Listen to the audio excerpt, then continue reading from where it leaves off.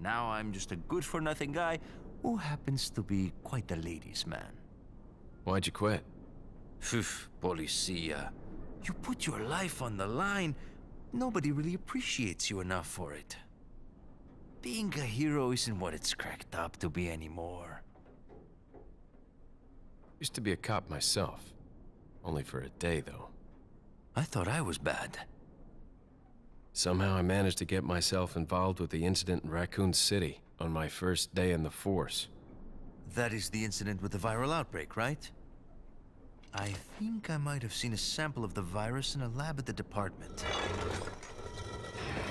Hey boy, I'm not done.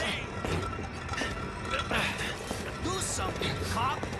After you. I